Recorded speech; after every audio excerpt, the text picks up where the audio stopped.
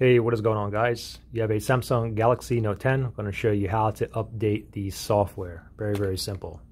So first thing you got to do is simply just go into your settings here. You can scroll down to notifications and then top right hand side you can tap on that gear right there, that gear icon.